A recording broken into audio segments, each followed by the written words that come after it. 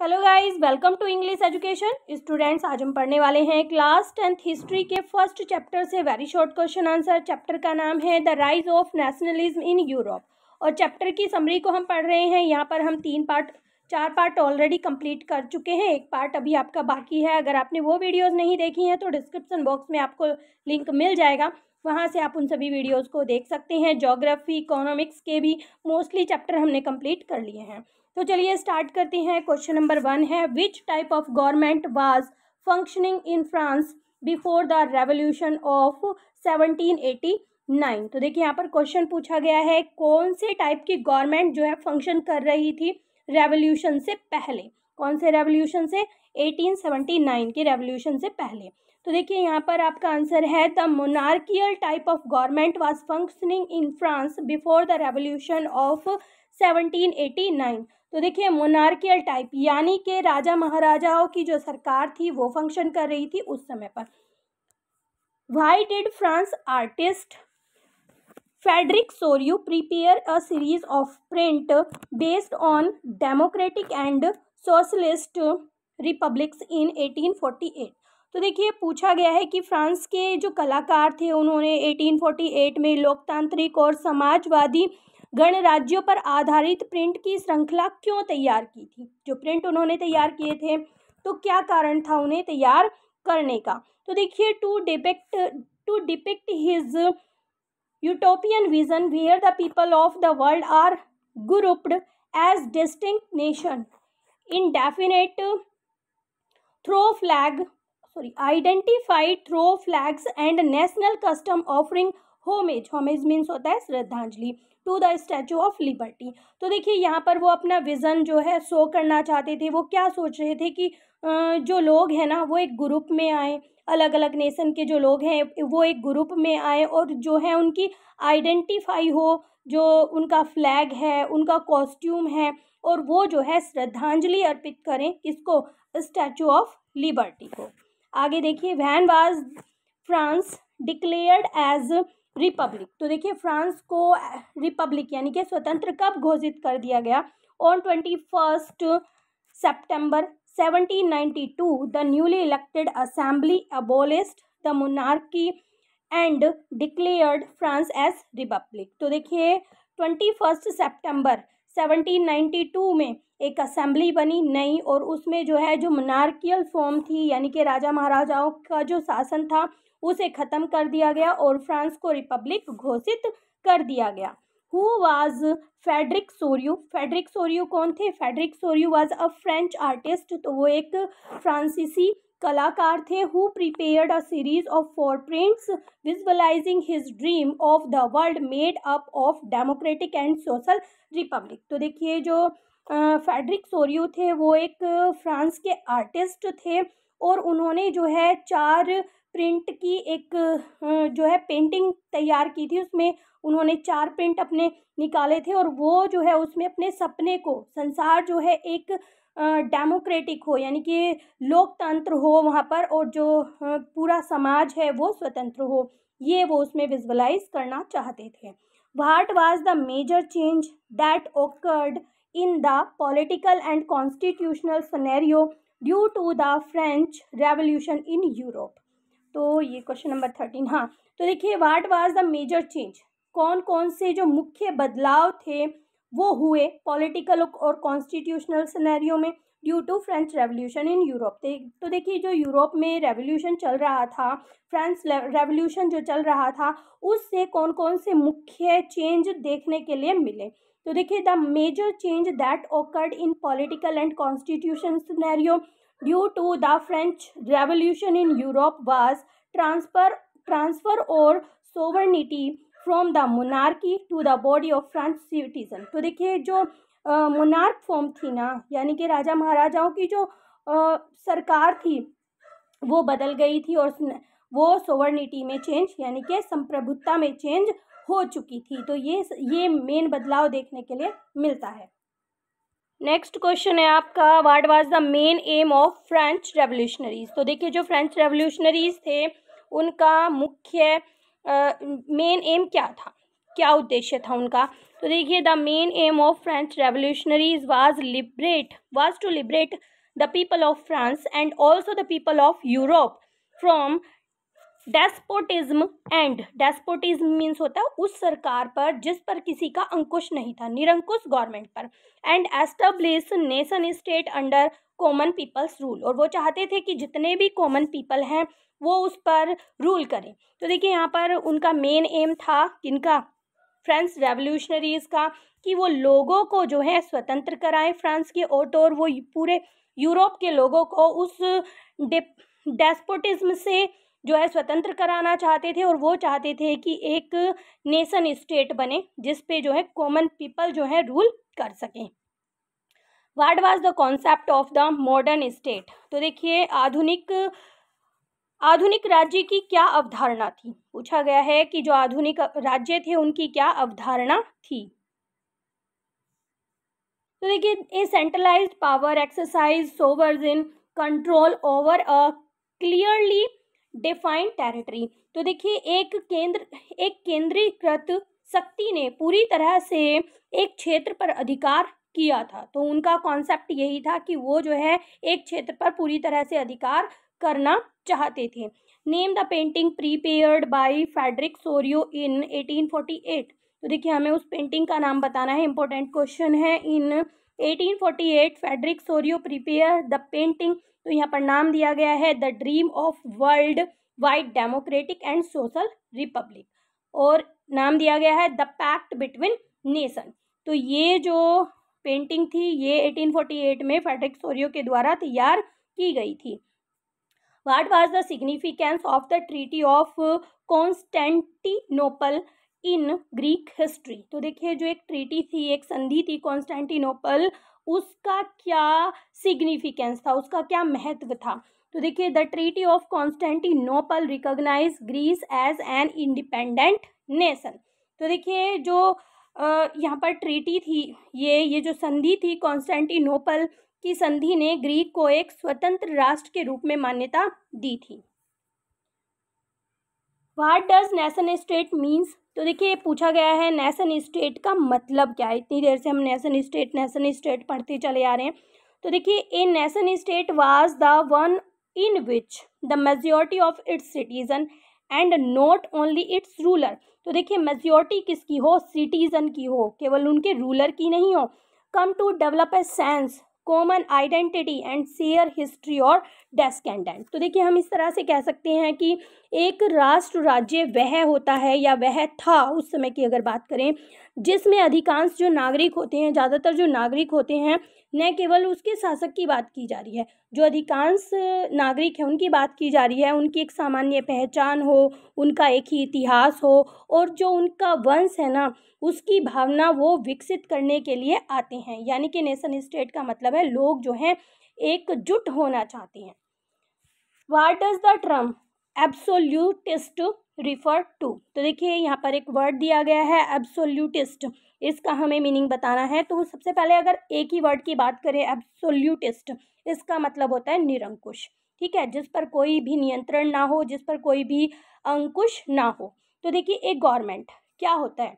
ये एक गवर्नमेंट या एक सिस्टम है of rule that has no restraint on power exercise ये मतलब पावर में है और इनके ऊपर कोई भी अंकुश नहीं है। ये बिना सोचे, समझे, जैसे भी काम करे, लेकिन इन्हें कोई बोलने वाला नहीं है। A form of monarchical government that was centralised तो एक मोनार्कियल फॉर्म यानी कि एक राजा महाराजाओं की गवर्नमेंट जो कि सेंट्रलाइज हो। A form of government that is repressive repressive means होता है दूसरों को दबाने वाला। तो देखिए, एक ऐसी गवर्नमेंट जो दूसरों को दबाती हो। तो हमने जाना कि अब एब्सोल्यूटिस्ट क्या होता है? एक ऐसी गवर्नमेंट जिसके ऊपर कोई भी अंकुश ना हो, जो कि सेंट्रलाइज्ड हो और मोनार्कियल फॉर्म भी हो, यानी कि राजा महाराजाओं की हो गवर्नमेंट और एक ऐसी गवर्नमेंट जो दूसरे लोगों को, का दमन करे। नेक्स्ट क्वेश्चन है when did industrialisation begin in England and other part of Europe तो देखिए इंडस्ट्रियलाइजेशन यानी कि उद्योगीकरण कब शुरू होता है? इंग्लैंड में और यूरोप के दूसरे पार्ट्स में। तो देखिए industrialisation began in England in the second half second half of eighteen century तो ये बिगन होता है second half of eighteen century में। But in France and other other part of German state it occurred only during the nineteen century तो देखिए England में पहले शुरू हो जाता है, जबकि जर्मन में और फ्रांस के कुछ पार्ट्स में ये बाद में शुरू होता है, यानी कि नाइनटीन सेंचुरी में शुरू होता है। Which year all man of twenty one years have and above in France regardless to their wealth got the right to vote तो देखिए, पहले क्या था? स्टार्टिंग में जिन लोगों के पास प्रॉपर्टी होती थी और वो ट्वेंटी वन ईयर्स से अबव होते थे तो उन्हें ही वोट का अधिकार था। तो देखिए, पूछा गया है कि कौन से ईयर में ऐसा हुआ कि ट्वेंटी वन ईयर्स के अबव के जो मैन थे, सभी को वोटिंग राइट मिल गया था। तो देखिए, वो ईयर था आपका seventeen ninety two all man of twenty one years and above in France got the right to vote तो देखिए, यहाँ पर बताया गया है कि फ्रांस में ट्वेंटी वन ईयर्स से जो जितने भी अबव के मैन थे, उन्हें नाइनटीन सेवेंटी टू में वोटिंग टू राइट मिल गया था। What was the meaning of the world liberalism liberalism का मीनिंग पूछा गया है और लिबरलिज्म की अगर बात करें तो लिबरलिज्म का मीनिंग होता है उदारवाद। For the new middle class लेकिन पूछा गया है कि न्यू मिडिल क्लास के लिए लिबरलिज्म का मीनिंग क्या है? तो देखिए for the new middle class liberalism stood for freedom of the individual and equality of all before the law तो देखिए, उनका मानना था कि लिबरलिज्म क्या है? फ्रीडम है। ठीक है? और किसके लिए? हर किसी के लिए। और उनका ये भी मानना था कि हर किसी के लिए जो लॉ है, वो एक समान हो। पॉलिटिकली अगर बात करें, राजनीतिक रूप से अगर बात करें it emphasise the concept of government by constant तो देखिए, राजनीतिक रूप से सहमति से सरकार बनाने पर ज़ोर दिया जाता था। देखिए, पूरे का मीनिंग हम देखते हैं। तो देखिए लिबरलिज्म क्या था? मिडिल क्लास के लिए ये फ्रीडम को स्टैंड करता था। और ये इसमें मानना था कि जो लो है, वो सभी के लिए इक्वल हो इंडिविजुअल के लिए भी। और अगर राजनीतिक रूप की बात करें तो यहाँ पर कहा गया है कि राजनीतिक रूप से सहमत, राजनीतिक रूप में सहमति से सरकार बनाने पर ज़ोर दिया गया है इसमें। आगे देखते हैं who hosted the Congress at Vienna in eighteen fifteen किसने होस्ट की थी ये जो संधि थी? ये संधि नहीं थी, ठीक है। तो देखिए who hosted the Congress at Vienna in 1815 तो देखिए, the Congress at Vienna in 1815 was hosted by the Austrian chancellor Duke Metternich. Important है, ठीक है, बहुत ही ज़्यादा इम्पोर्टेंट है। तो देखिए, ये जो ये होस्ट किया गया था Austrian Austrian chancellor Duke Metternich के द्वारा। लॉन्ग क्वेश्चन, शॉर्ट क्वेश्चन में भी पूछा जा सकता है सभी डिटेल में। Which countries met at treaty of Vienna तो कौन सी कंट्रीज़ थी जो कि ट्रीटी ऑफ़ वियना यानी कि वियना में मिली संधि करने के लिए?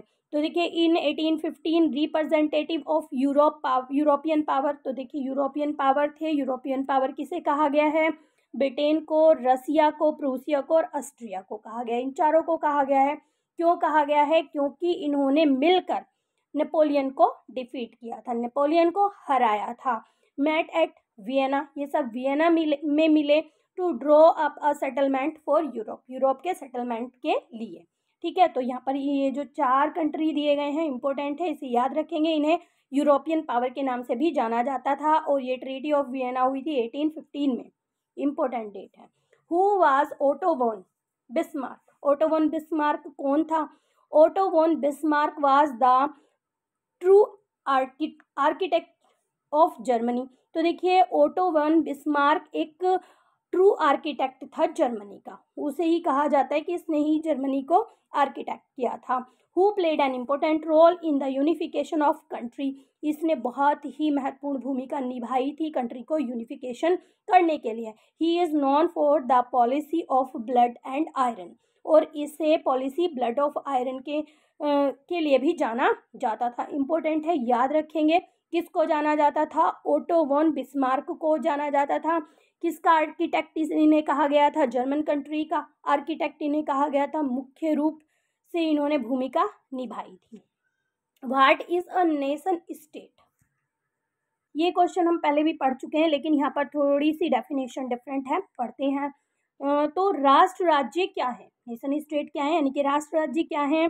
Nation state is one of in which the majority of citizen come together इसमें जो है मेजोरिटी ऑफ़ सिटीजन यानी कि जो अधिकांश लोग होते हैं, वो एक साथ आते हैं, क्या करने के लिए? To develop a sense of common identity common identity की सेंस को विकसित करने के लिए and share history and descendant तो हम इस तरह से कह सकते हैं कि राष्ट्र राज्य वह है जिसमें अधिकांश नागरिक एक समान पहचान और एक इतिहास या वंश की भावना को विकसित करने के लिए आती हैं। या आए थे, ठीक है? आगे देखते हैं। Which two underground societies were formed तो देखिए, कौन सी दो अंडरग्राउंड सोसाइटीज बनाई गई थी गोजप्पी मजीनी के द्वारा? इम्पोर्टेंट है वेरी इंपॉर्टेंट है। तो देखिए यंग इटली इन मर्सलीज और यंग यूरोप इन बैन तो ये बनाई गई थी गोजप्पी मजीनी के द्वारा, ठीक है? Name the three revolutionaries of Italy who led the unification of of the country तो देखिए, तीन रेवोल्यूशनरीज के नाम बताने हैं इटली के, जिन्होंने यूनिफिकेशन किया कंट्री का। एक साथ जोड़ा, उन्हें एक राष्ट्र में चेंज किया। तो देखिए, सबसे पहले तो इम्पोर्टेंट है गोजप्पी मजीनी बताया गया है, फिर है काउंट कैमिलो डी कैवर और आगे आपके गोजप गोजप्पी गैर बाल्टी तो देखिए गोजप्पी गैर बाल्टी काउंट कैमिलो, डी कोवर और गोजप्पी मजीनी, ये तीनों थे। Sorry for that who were liberal nationalist तो देखिए लिबरल नेशनलिस्ट कौन थे? Which two underground ground societies were formed by Giuseppe Mazzini? तो गोजप्पी मजीनी के द्वारा कौन सी दो अंडरग्राउंड सोसाइटीज बनाई गई थी? यंग इटली इन मर्सलीज और यंग यूरोप इन बैन तो देखिए, ये दो जो है सोसाइटीज़ बनाई गई थी गोजप्पी मजीनी के द्वारा। Name the three revolutionaries of Italy who led the unification of the country. तो देखिए, इटली के तीन रेवोल्यूशनरीज के क्रांतिकारियों के नाम बताने हैं, जिसने कंट्री को यूनिफाई करने का काम किया। तो यहाँ पर देखिए, एक का नाम है गोजप्पी मजीनी, दूसरे का नाम है काउंट कैमिलो डी कैवर और गोजप्पी गैरी बाल्टी। तो देखिए गोजप्पी गैरी बाल्टी ये भी इम्पोर्टेंट नाम है। तो ये तीन रेवोल्यूशनरीज थे जिन्होंने इटली का यूनिफिकेशन करने का काम किया था। हु वर लिबरल नेशनलिस्ट तो लिबरल नेशनलिस्ट कौन थे? यानी कि उदार राष्ट्रवादी कौन थे? तो the liberal nationalist belong to the educated middle class elite among whom were professors, school teachers, clerk and the and members of the commercial middle class. तो देखिए, यहाँ पर बताया गया है नेशनलिस्ट कौन थे, कौन कौन बिलोंग करते थे? तो यहाँ पर थे जो पढ़े लिखे मिडिल क्लास के लोग थे और फ़ेमस लोग थे, ठीक है? और उनमें कौन कौन थे? प्रोफेसर थे स्कूल टीचर थे क्लर्क थे और member of the commercial middle class यानी कि जो बिजनेसमैन थे। Who played the key role in unification of Germany Germany की, को यूनिफाई करने में यूनिफाइंग करने में कौन इम्पोर्टेंट रोल प्ले करता है? किसने किया इम्पोर्टेंट रोल प्ले तो देखिए इम्पोर्टेंट नाम है ये भी।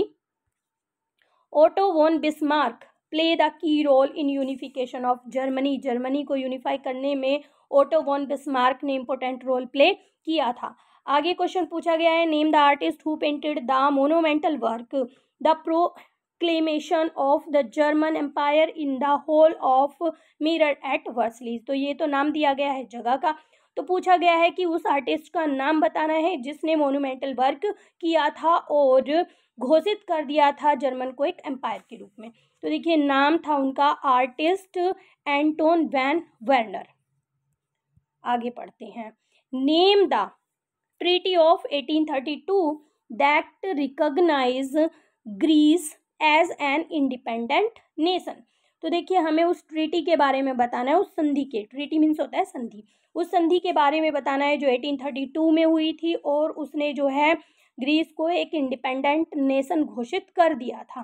तो देखिए ट्रीटी ऑफ़ 1832 ये तो हम पढ़ चुके हैं कॉन्स्टेंटिनोपल ट्रीटी वो थी एक कॉन्स्टेंटिनोपल ट्रीटी आगे पढ़ते हैं identify the place we are the Frankfurt parliament was convened in 1848 तो देखिए, हमें बताना है उस जगह के बारे में जहाँ पर फ्रैंकफर्ट पार्लियामेंट जो है कन्वेंस हुई थी 1848 में। तो वहाँ पर जगह का नाम है चर्च ऑफ़ सेंट पोल। हमने पढ़ा था ना कि चर्च ऑफ़ सेंट पोल में सभी लोग इकट्ठा हुए थे, लेकिन औरतों को जो है, जो वुमेंस वहाँ पर खड़ी, वुमेन वहाँ पर खड़ी हुई थी, उन्हें जो है बस देखने का एज अ विजिटर वो वहाँ पर खड़ी हुई थी।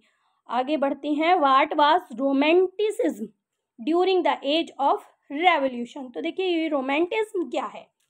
ठीक है रेवोल्यूशंस के दौरान ये जो वर्ड यूज़ हुआ और ये क्या है? तो देखिए romanticism was the cultural movement ये एक संस, एक कल्चरल मीन्स सांस्कृतिक. ये एक सांस्कृतिक आंदोलन है which sought to develop a particular form of nationalist sentiment तो देखिए, जो मांग करता है कि क्या विकसित किया जाए राष्ट्रवाद की भावना विकसित की जाए, ठीक है? तो रोमांटिसिज्म के बारे में जाना था हमने कि यहाँ पर जो कल्चर है अपना, वो दिखाया जाता है। उसके माध्यम से लोगों के बीच भावना विकसित की जाती है। पोएट्री लोकगीत डांस इन सब के माध्यम से लोगों को ऑडियंस को जो है एक मैसेज दिया जाता है कि किस तरह से हमें अपने राष्ट्र की मांग रखनी है, ठीक है? तो यही है आपका रोमांटिस आगे पढ़ते हैं who supported nationalist of Greek in their independence war तो देखिए, जितने भी ग्रीक में ये जो इंडिपेंडेंस के लिए वॉर चल रहा था तो उन नेशनलिस्ट को कौन सपोर्ट कर रहा था? तो nationalist in Greece got support from the Greek living in exile तो एग्जाइल आपको बता चुकी हूँ मैं, जिनको देश के बाहर निकाल दिया जाता है, ठीक है? तो वो लोग जो देश से निकल कर बाहर रह रहे थे वो, लेकिन वो ग्रीक के ही थे। आगे देखिए। And also from many west European और बहुत से वेस्ट यूरोपियन से भी उन्हें सपोर्ट मिल रहा था। Who had sympathy sympathies for ancient Greek culture जिन्हें जो है सहानुभूति थी, जो पुराना एनिसेंट ग्रीक कल्चर था, उससे वो सहानुभूति करते थे। तो ये दो लोग जो हैं ग्रीक वॉर इंडिपेंडेंस वॉर जो चल रहा था, उसमें सपोर्ट कर रहे थे। कौन कौन कर रहे थे? तो देखिए ग्रीक लिविंग इन एग्जाइल और many west Europeans who has been called the hero of two world किसको हीरो ऑफ़ टू वर्ल्ड कहा गया था? तो देखिए गोजप्पी मैंने अभी ऊपर ही बताया था आपको इम्पोर्टेंट है। Garibaldi has been called the hero of two world तो देखिए, गैजप गोजप्पी गैरी बाल्डी को हीरो ऑफ़ टू वर्ल्ड कहा गया था। What was the result of the Act of Union seventeen seven? तो देखिए, ये जो क्या रिज़ल्ट हुआ? Act of Union seventy seven का क्या रिज़ल्ट हुआ? तो देखिए, अलग से एक नेशन बना था जिसका नाम था United Kingdom of Great Britain. Was the result of the Act of Union seventy seventeen seven? आगे पढ़ते हैं। What is an what is an allegory state any one example to clarify the same तो देखिए allegory when an abstract idea for instance greed envy freedom, liberty is expressed through, through a person और a thing it is symbolic तो देखिए मैं अगर अपने शब्दों में कहूँ इसको ये कोई भी एब्स्ट्रैक्ट आइडिया जैसे कि ग्रीड है, लालच है, ईर्ष्या है, स्वतंत्रता है और लिबर्टी है, इसको एक्सप्रेस करने के लिए अगर मैं एक आइडियल बता दूँ एक पर्सन के रूप में एक आइडियल बता दूँ तो ये जिस चीज़ को सिंबलाइज करता है, ये एक चिन्ह होता है, ठीक है? जैसे कि स्टैचू ऑफ़ लिबर्टी हम अपने देश की बात करें, जैसे कि भारत माता है, ठीक है? एक पर्सन बता दिया तो वो क्या है? वो क्या कर रहा है कि वो एक एब्स्ट्रैक्ट आइडिया आइडिया दे रहा है ग्रीड फ्रीडम इन सब का, ठीक है? तो यही बात बताई गई है। तो क्या यहाँ पर कुछ एग्जांपल्स दिए गए हैं? जैसे स्टैचू ऑफ़ लिबर्टी है मैरिन है और जर्मेनिया है। ये सभी एग्ज़ाम्पल हैं। अब देखिए, in eighteen century political clubs become an important rally point for people who wish to discuss government policy and plan their own forms of action. Of them which club was most successful तो देखिए eighteen century में क्या हुआ? बहुत सारे political club जो है बनकर सामने आए थे। तो वो उनका क्या काम था? वो रैली पॉइंट बन गए थे। यानी कि लोग जो है इकट्ठा होते थे गवर्नमेंट के बारे में डिस्कस करते थे, उनकी पॉलिसी के बारे में डिस्कस करते थे और जो है उनके एक्शन के बारे में वो डिस्कस करते थे। तो देखिए, ये एक क्लब था। ठीक है? तो ये पॉलिटिकल क्लब थे। तो पूछा जा रहा है, इनमें से कौन सा क्लब सबसे ज़्यादा सक्सेसफुल था? तो देखिए, वो क्लब है हमारा जेकोबियन क्लब जैकोबियन क्लब जो था, वो सबसे ज़्यादा सक्सेसफुल रहा था। Under whom various state of Italy were ruled तो देखिए, किसके अंडर जो है इटली के बहुत सारे स्टेट जो हैं किसके अंडर में थे? कौन वहाँ पर रूल करता था? Mention the. Lines who ruled Italy तो हमें बताना है कि कौन रूल कर रहा था उस समय इटली में। तो देखिए, the north was under Australian Habsburg तो देखिए, अगर हम बात करें नॉर्थ की तो वहाँ पर कौन रूल कर रहा था? ऑस्ट्रेलियन ऑस्ट्रियन हैब्सबर्ग और यहाँ पर अगर हम सेंटर की बात करें तो वहाँ पर रूल किया जा रहा था पॉप के द्वारा। और अगर साउदर्न रीजन की बात करें तो वहाँ पर था आपका बर्बन किंग्स ऑफ़ स्पेन ठीक है? तो ये सब वहाँ पर रूल कर रहे थे। In which event of history we observe the clear expression of nationalism तो देखिए इतिहास की किस घटना में राष्ट्रवादी, राष्ट्रवाद की अभिव्यक्ति जो है स्पष्ट रूप से दिखाई देती थी। तो देखिए, इन द फ्रेंच रेवोल्यूशन तो क्योंकि फ्रेंच रेवोल्यूशन जो है मोस्ट इंपॉर्टेंट है और वहीं से सारी चीज़ों की शुरुआत हुई थी। तो देखिए, in the French Revolution in seventeen eighty nine we observe the clear expression of nationalist nationalism तो देखिए, उदारवाद की जो भावना है वो बिल्कुल क्लियर कब हुई थी? फ्रेंच रेवोल्यूशन के द्वारा के दौरान वो कब था, कब हुआ सेवनटीन एटी नाइन में। आगे पढ़ते हैं। Name the Balkan countries Balkan countries के नाम यहाँ पर हमें बताने हैं। The Balkan nation comprises the Romania Bulgaria Albania Greece Mac Macedon Macedonia Croatia Bos Bosnia Herze her Herze Herzegovina sorry Slovenia, Siberia and Montenegro which were inhabited mostly by Slavs तो देखिए, यहाँ पर ये सभी कंट्रीज़ थे जो Balkan countries के अंदर आते थे। Who was the first prime minister of Italy Italy के पहले प्राइम मिनिस्टर कौन थे? तो ये थे आपके काउंट कैमिलो डी कैवर ठीक है? कौन थे? First prime minister of Italy Count Camillo de Cavour ये पहले प्रधानमंत्री थे। Who was proclaimed the king of united Italy in 1861 तो देखिए 1861 में यूनाइटेड यूनाइटेड इटली का किंग किसे घोषित किया गया? In 1861 Victor Emmanuel Victor Emmanuel second was proclaimed king of united Italy तो देखिए, विक्टर इमैनुअल सेकंड को घोषित कर दिया गया था यूनाइटेड इटली का किंग, कब? 1861 में। व्हाट वाज द ये हम पढ़ चुके हैं।